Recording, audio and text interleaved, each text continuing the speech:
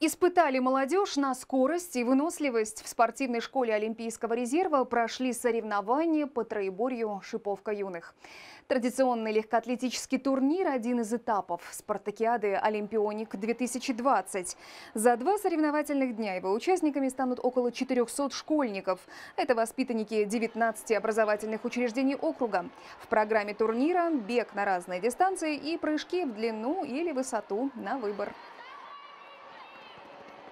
Соревнования имеют две цели. Первая цель – это чтобы посмотреть наш резерв, который может заниматься в нашей школе.